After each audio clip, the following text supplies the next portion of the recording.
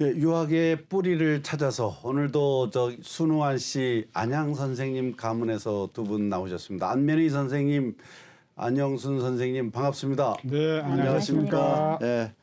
시청자 여러분께도 한번 인사드릴까요? 아, 네. 시청자 여러분 안녕하십니까? 반갑습니다.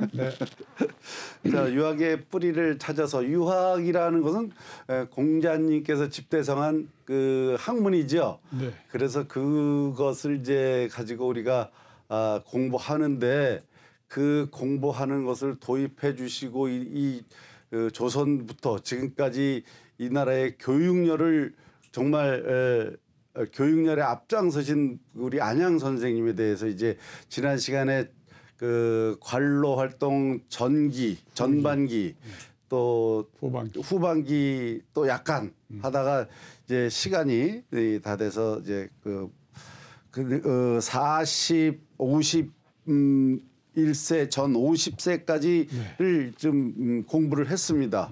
어, 이제 51세에서부터 어, 지난 시간에 이어서 어, 안양 선생님에 대해서 일대기에 대해서 좀 알아보겠습니다. 예. 네. 네, 지난번에 이어서 오늘은 이제 안양 선생이 어, 1293년 어, 51세 때의 일부터 어, 다시 그 살펴보도록 하겠습니다. 그, 그 1293년 3월에 어, 3월 병인일에 공주가 병이 들어서 밀직사사 안양의 집으로 옮겨서 또 치료를 했습니다. 그해 4월에 4월 개축일에 국왕이 공신호 공신호 축하 연회를 궁전에서 열었습니다. 당시 선생이 시를 지어서 국왕에게 바쳤습니다. 국왕은 이를 가상하게 여겨서 쌀 50석을 내렸습니다. 출전은 고려사입니다. 쌀 50석. 어, 그 지금도 50석이면 상당히 많죠. 네, 지금 뭐 농산물 값이 워낙 그 싸기 때문에 가령 옛날에 아버지가 봉급을 백- 저희 어릴 때 아버지가 봉급을 100원 받으면 어, 쌀사 먹는데 70원, 80원이 들었습니다. 예. 근데 지금은 우리 아들들 같은 경우 봉급을 받으면 어, 도, 봉급 100원을 받으면 쌀 사 먹는데 드는 돈이 한 5원 정도 들까? 그러니까 그만큼 농산물 값이 싼데 이 고려 시대 때는 이거보다 더 훨씬 더 쌀 50석에 대한 가치가 컸을 거라고 생각합니다. 예. 예. 안면희 선생님께서 뭐 농사를 또 같이 짓고 현재도 짓고 계시니까 그 쌀 한 석이 얼만큼 져야 한 석이 나온다 몇 평을 져야 논몇 멋마지기에서 몇 가마가 나온다는 거 잘 아시겠네요? 예, 저도 뭐 이게 농사는 올해 그러니까 이제 올해 그러니까 그 처음으로 내려가서 좀 짓기 때문에 아 초년병이시구나. 농사는 예. 처음 처음입니다. 네, 네. 그것까지 네. 예, 쌀을 50석을 네. 어, 시를 지어서 국왕에게 에, 바쳤더니 이, 쌀 50석, 그때 네. 그때 쌀 50석을 내려주셨다. 어우 대단합니다. 아, 그 다음 또 음. 말씀 또 해주시고요. 1294년 충렬왕 20년 52세 4월 신미의 동지 밀직으로 동남도 병마사가 되어 지금의 창원인 하포에 진주했다. 그곳에서 군사를 이로하고 백성들을 보살펴 고을이 평안하게 되었다. 출전 고려사 7월 각오 시험을 치르게 되어 선생을 불러들여 시간을 맡기로 하였다. 유석을 대신 하포에 진주하게 하였다. 당시 장막, 장맛비가 크게 불어나매 선생이 사익길로 달려가 성주에 이르러 시를 지어 동암 이진에게 주었는데 시는 이렇다. 하초 분월 해변내 하니 음과 삼경 지원대라 첫여름 바닷가에 다스려 왔다가 삼복에 읍조리며 치원대를 지나네. 영리 내지 전밀지하니 문이 화박 선현제라 역졸들 빗발처럼 달려와 전하는 밀지 현재들 뽑는 과거가 불일간 열린다네.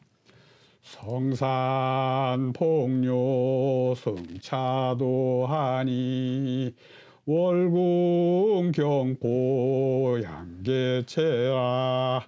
성산에 장마 물을 때 타고 건너자니 월궁의 서늘한 바람은 개수화를 재촉하는 듯.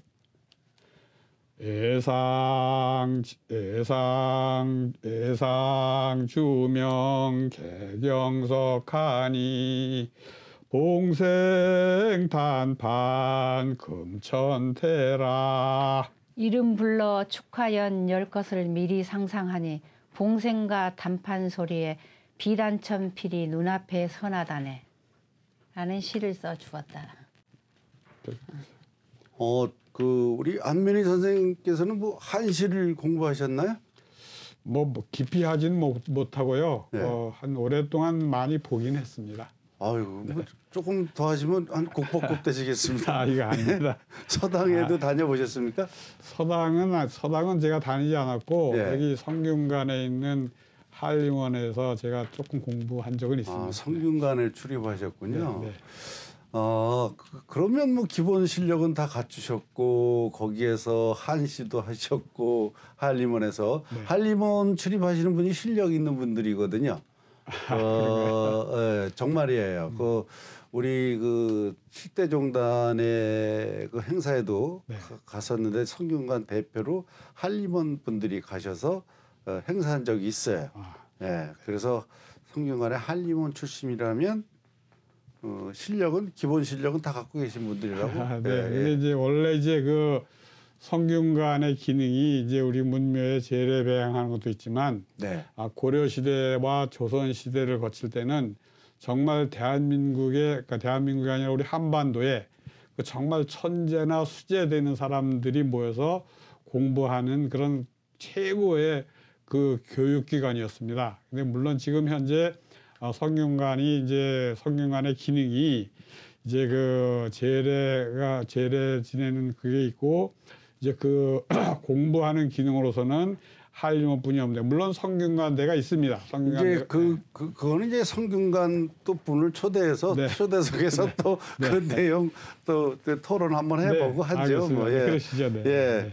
그래서 아주 그 한시를 또 잘 읽어주셔서 어, 공부가 또 많이 될 것 같습니다. 우리 시청자 여러분들이 아 한시라는 게 이런 거구나. 예, 고리타분할 수도 있지만 그 내용을 들여다 보면 이런 시간이 아니면 이런 그 시를 들을 수가 없습니다. 네. 다음 네. 또 말씀해 주시죠. 네, 그래서 이제 요 지금 여기 우리 안양 선생의 그 글이 거의 남아 있는 게 없고 다른 사람들의 그 문적에 남아 있는 글, 그다음에 고려사에 있는 일부. 그래서 이제 안양 우리 안양 선생을 연구하는데 상당히 어려움이 많이 있습니다. 아 그러나 하여튼 이 우리가 여기 있는 그 단편적인 글을 보고도 그 시구 하나 하나에 그 당시 상황을 정말 잘 묘사하면서 우리 유학을 그 성리학을 정말 그 전파하고 성리학이 정말 쇠퇴하면서 그 고려사의 미신이나 이런 것들이 아, 정말 판시든 이런 세상에서 어, 성리학이 쇠퇴 그 그렇게 크게 번성하지 못하는 것에 대해서 한하는 시들이 이 뒤로도 우리가 가면서 보면서 자세히 하나 한자 한자 구- 작구를 뜯어보면 절절히 넘치고 있습니다. 아 예. 저는 저 같으면 우리 저 우리 할아버지가 시조 시조공이 예, 중시조라도 네. 이렇게 글 저런 거를 읽으면 눈가가 촉촉해지지 않을까라는 생각도 좀 해보고 아, 그렇습니다. 예 그렇죠 네. 마음이 막 네. 울컥하고 이제 이런 네, 게 네, 있잖아요 네, 예. 그 아주 그냥 순응한 씨 그 양반 후손으로서 너무 정말 이렇게 공부 잘하신 분이 또 계시고 또 현 시대에 참 이거를 시조를 읽어 주실 수 있는 실력을 갖고 계신 후손이 있으셔서 어, 안양 선생님께서는 흡족해 하실 것 같습니다. 아, 이게 너무 과찬, 예. 과찬의 말씀이시고요. 예. 저는 정말 아직은 전부 저는 어디 특별히 공부한 게 아니라 혼자 독학을 거의 했기 때문에 네. 아, 잘 적하지 못합니다. 그러나 하여튼 그, 너무 과찬이셔서 감사합니다. 예.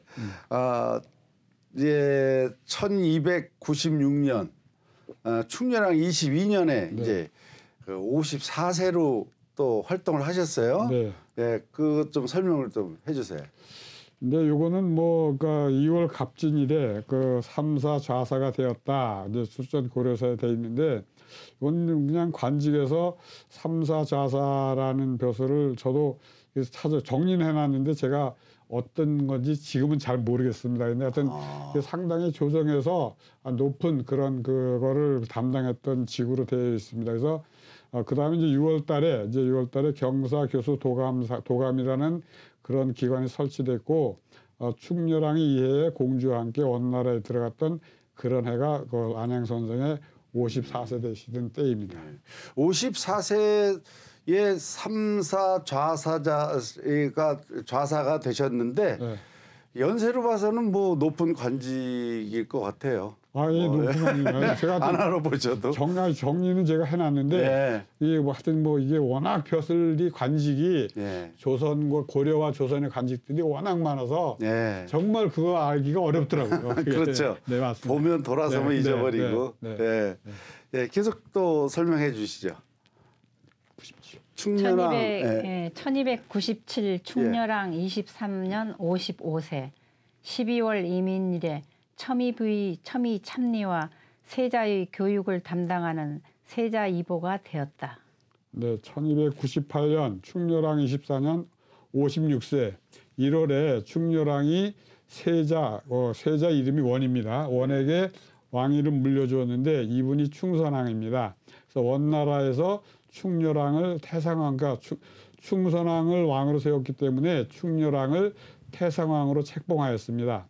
어, 이해 5월에 5월 신묘일에 충선왕이 선, 선생을 참지기무 겨- 어, 참지기무 행동 어, 행동경유수 지편전 태학사 계림 부인으로 삼았습니다. 어, 7월달에 무술이 7월달 무술일에 충선왕이 관제를 개혁하여 어, 선생을 첨의 참리 수문전 태학사 감수국사로 삼았습니다. 8월 달 충선왕과 공주와 함께 선생이 원나라에 갔으며 태상왕 태상왕이 집정하였습니다. 여기서 태상왕이라는 것은 충렬왕을 말하는 겁니다. 원나라에서 원, 그 원나라 승상이 묻기를 신하들 가운데 제일 높은 자가 나와 대답하라 라고 했습니다. 그래서 당시 선생은 첨의 참리로 국왕을 호종하고 있었습니다. 숭상이 황제의 명이라 하면서 묻기를 너희 나라 왕은 왜 공주를 이 여기 공주는 어, 원나라 공주를 말하는 거죠. 왜 공주를 가까이 하지 않느냐라고 하였습니다. 이에 선생이 말하기를 어, 규방의 일은 밖에 있는 신하로서는 알 수 없습니다. 이것을 물으시는데 어찌 황제께서 들으신 만 것이 있겠습니까? 라고 대답했습니다. 그래서 숭상이 이 말을 황제에게 보고하니까 황제가 이 사람은 대체 큰 흐름을 아는 자라고 할 수 있다. 그러니 어찌 먼 나라에 있는 이로 대접해서 되겠는가? 라고 한 뒤에 다시는 이와 관련된 질문을 하지 않았습니다. 이건 고려사에서 출전입니다. 예. 예, 이 향치하에서 충선왕은 계속 수기하였고 충렬왕이 정사를 살폈다. 그런데 이 말은 무슨 말이냐면 충선왕은 계속 수기하였다. 원나라에 머물렀고 이제 다 그냥 잠깐 그 왕이 됐다가 계속 원나라에서 머물고 충렬왕이 계속 정사를 살폈다 이런 의미입니다. 예. 참 음, 이렇게 그, 그 워- 원나라의 왕이 그 안양 선생님께 질문을 했을 때 네. 이렇게 현명한 대답을 하셨고 네 네. 또 그런 총이라 그러나 이제 이런 것이 좀 뛰어나셨던 네. 분인데 그것이 이제 연세 드셔도 네. 어 그거를 잃, 잃지 않, 잃지 않으시고 예, 이렇게 이어나가고 이게 원래 어 어떤 책에 책에 뭐 역사책에 다 나와 있지만 아 지금 이, 이 시기가 음. 우리나라로서는 참 그 수치스러운 시기잖아요. 그렇습니다. 예, 네, 이게 네. 임금에게 그 충성 충자의 네. 그 시호를 네. 내려주고 이런 시기가 네. 어, 없었어야 되는 이런 시기에 얼마나 그 마음 아프게 에, 원나라를 오가셨겠어요, 그죠? 네. 예, 그러니까 어, 말 한마디에도 실수 없이 그 조국의 그 네. 어, 대표로처럼 생각이 들어서 이렇게 촌기 있게 총명하게 말씀을 하신 거가 이제 우리 네. 그안 어, 안문에서는 이제 에, 시조공 정도 되시는 안양 선생님이시고 네. 그 후분들 후손들이 지금 이 방송을 하시는데 이분들 또한 보니까 뭐 뭐그청촉 촉기라 그러나 총 아. 예 아주 대단하십니다. 아니 예. 이건 너 그 그렇게 말씀하시면 저희는 정말 우리 선조를 욕되게 하시는 거기 때문에 아이고, 아, 예. 제가 그걸 감당할 수 없습니다. 네. 예. 그다음에 이제 1299년에 이제 어, 연세가 이제 자꾸 들어가십니다. 예, 1299 충렬왕 25년 57세 9월 기해에 국왕이 선생과 민지를 수국사로 삼았다. 출정 고려사. 네, 1300년 충렬왕 26년 58세 때 광정대부로 찬성사에 올랐고 얼마 후에 벽상 벽상사만 삼중대강이 되었습니다. 이건 출전이 고려사 본전입니다. 이 삼중대강이면은 아마 아, 정 정일품 뭐 아마 정일품 정도 되는 벼슬인 것이 내가 공부한 것 같은데 어, 확실한 거는 이제 책을 보면 나오겠습니다만 이게 상당히 높은 벼슬이거든요. 네, 거의 뭐 최고. 예. 예, 예, 그렇습니다. 예, 그래서 이제 1300 년을 넘어서 1301년으로 넘어가겠습니다. 네. 우리 역사의 1301년에는 무슨 일이 있었나? 예, 1300일 충렬왕 27년 59세 2월 원나라 황제가 파견한 야율희율이 문무로 가보기를 청했다. 출전 고려사. 당시 병화로 피난을 갔다 왔기 때문에 문묘는 항폐했으며 예가는 경황이 없어서 미처 이를 수리하지 못하고 있었다. 그리하여 선생의 집 뒤에 있는 정사로 인도하였다.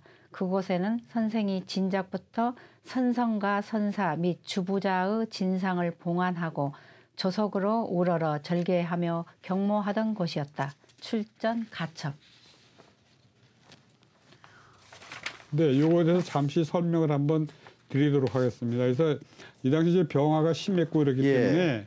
그, 그 전에 이제 그 고려에도 성균관이 있었는데 그게 다 허물어지고 없어져서 원나라에서도 그 유교를 숭- 성리학을 숭상했기 때문에 이 야율희일이라는 이 사람도 그 대학자입니다. 이분을 예, 이제 그 조선의 사신으로 보냈는데 그나 고려에 있는 문묘가 지금으로 말하면 성균관이죠. 그 성균관이 어떤가 한번 가보기로 했는데 나라에서는 그 그 그 성 문묘를 가볼 만하게 한 곳이 하나도 없습니다. 네, 그런데 이제 다만 이제 안양 선생께서는 그 위에서 말했듯이 원나라에서 돌아오셔서 주자서를 뺏겨오고 공자와 주자와 72제자의 화상을 그려가지고 오셨습니다. 그렇기 때문에 그때 이제 안양 선생께서는 개인적으로 자기 집에다 그 이제 공자와 주자 그다음에 72, 그 이제 그 성인 그 제자들의 그 성현. 네, 성현들을 아 그 모셔놓고 거기서 이제 매 매일 아침마다 그 이제 그 문묘 이제 그 거기서 이제 배- 저- 절을 하고 이제 경례를 하고 이랬, 이랬습니다. 그래서 뭐 그러니까 이제 뭐 갈 때가 보낼 때 같이 그 야율희를 같이 그 배- 안내할 수가 없으니까 대신 그 우리 안양 선생이 세우는 개인 그, 그 사당처럼? 개인 예. 사당에 예. 그 이렇게 봉안하는 것을 이제 그 보게 됩니다. 그래서 그래서 이제 그 뒤에 나오겠지만 그, 그, 그 뒤에 나오는 건 다음에 다시 설명하도록 하겠습니다. 예, 예. 그래서 그 나라에서조차도 보여줄 수 있는 문묘가 없, 없기에 네. 안양 선생님의 그 집에 있는 사당에 모셔둔 네. 걸로 이 그 어, 야율희 야율희를 네. 데리고 가서 네. 어, 거기에서 고하게 했다. 그렇습니다. 예, 예. 그런 말씀이시고요. 예. 예, 이어서 네. 원나라 사신은 그곳으로 나아가 절한 뒤 국학이 좁아 방궁후 제도를 크게 상실했다라고 한 뒤 국왕에게 이를 말해 마침내 문묘가 다시 지어질 수 있게 되었다. 출전 고려사. 선생은 즉시 조정에 집터를 바쳤으며 이곳이 새로 지은 성균관이며 선생은 양원동으로 이사했다. 요 요거에 대해서 네. 알고 계신 거 있으면 네, 요것도 그래서 이제 그 야율힐이 그 우리 그 안양 선생이 지- 그 모시는 사당에 가서 보니까 이게 원나라는 그 당시 가장 그 세계에서 크고 강대한 나라니까 문묘를 얼마나 잘 해놨겠습니까? 예. 근데 그 안양 선생이 본인이 개인으로는 정말 크게 잘했다고 하지만 예. 그런 국가적인 차원이나 이런 데서 볼 때는 아, 특히 야유일이 볼 때는 정말 초라하고 보잘 것 없었겠죠. 예. 그러니까 이제 그 원나라 사신이 이제 이렇게 말을 하면서 이제 당시 이제 충렬왕에게 문묘가 이렇게 너무 작고 그러니까 좀 다시 지어라 이렇게 이제 그 말했습니다. 이렇게 말을 하니까 이제 어, 그래서 이제 그때부터 짓게 되는데 이 당시 이제 선생은 그 이제 그, 그 야유일이 왕에게 그렇게 말을 하니까 어, 선생은 즉시 그 자기가 그 자기가 살고 있는 집과 그 사당 전체를 나라에 바쳤습니다. 그래서 그곳을 성균관 터로 삼게 했고 그리고 나서 이제 그 선생은 그 양원동이라는 곳으로 이사 가서 다시 집을 짓고 거주한 것이 이 내용입니다. 아, 이제 성균관의 역사가 또 새로운 역사가 네, 네. 안양 선생으로서부터 이제 이어지기 예, 시작을 했습니다. 그렇습니다. 네, 계속 하겠습니다. 네. 음, 선생은 사신의 임무로 중국에 가서 문묘에 알묘했는데 학관이 업신여기며 묻기를 너희 나라에도 성묘가 있느냐라 하매 의례의 사전을 한결같이 중국의 제도에 맞추어서 실행하고 있습니다 라고 한 뒤 성리학과 관련된 것을 변난하자 학관이 크게 놀라 탐복하며 이 사람은 동방의 주해암이시다 라 하였다. 하상을 가지고 돌아오자 사람들은 앞을 다투어 이를 뵙고자 하였다. 이때에 이르러 그 학관이 항제의 사신으로 고려에 나왔다가 문묘를 찾아 알묘를 했다고 한다. 출전 가첩. 예, 예, 그 주 회암이라는 거는 주의 선생의 네, 마- 네. 예, 주의 선생의 네. 호. 네, 호입니다. 그래서 그 호에 예. 회자를 따서 금음 금음달 예, 예. 예, 회자를 따서 네. 어, 회헌 헌. 예. 예, 집헌자 예, 예. 쓰셔서 그 회헌 선생님이 되신 거죠 이제. 그렇습니다. 예, 네. 계속 또 예. 해주세요. 옛날 성균관은 태평관에 있었는데 누차 병화를 겪어 태피하기 이를 데 없었다. 출정 고려사. 온 세상에서 불교만 숭상할 줄 알고 우리 유도가 있는 줄 모르고 있었다. 이에 선생은 개연하게 학교를 짓고 유도를 창도하는 것을 자신의 소임으로 여겼다. 아, 지금까지 또 우리 이 관직 생활 그 전기에 이어서 후기를 네. 지금 말씀 음, 중이셨는데 아, 정말 그 시조에 관해서 어, 또 어떤 특강이라도 한번 있었으면 하는 그 욕심이 생길 정도로 안면희 선생님께서 잘 해주셔서 아주 그 정말 그 유익한 방송으로 아마 이 방송이 될 것 같아요. 그 오늘 두 분 또 안면희 선생님, 안영순 선생님 대단히 고맙습니다. 다음 시간에 또 뵙겠습니다. 네, 감사합니다. 감사합니다. 네. 네.